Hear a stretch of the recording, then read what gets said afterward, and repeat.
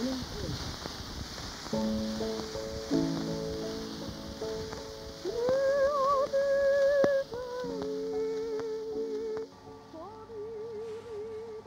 was asking him little trivial questions at first to get him talking to me.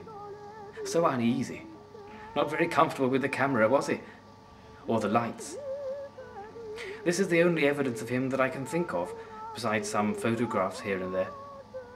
I suppose I should be proud to have done this, but looking over it again just makes me sad. I think of the extinct castrato voice, and I think of him. I wish others could have heard it. I wish it could have been preserved, but it wasn't. He died.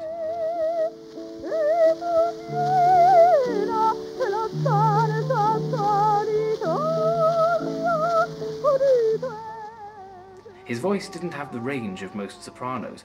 I suppose that's why he was never offered a recording. But his voice was of a much higher quality than Moreschi. It was crystal clear and full of confidence, which I must admit was severely lacking in other castrati.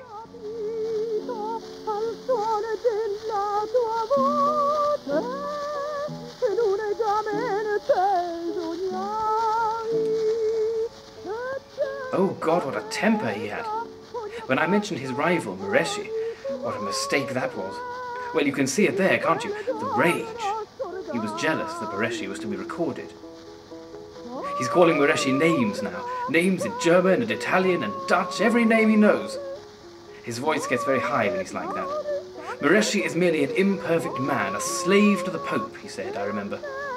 To sing is my life, to sing is my life, or something like that.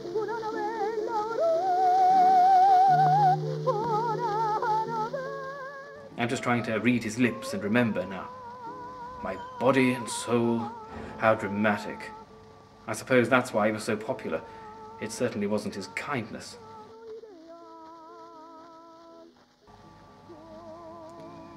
Quite an unpleasant person, really, except when he sang.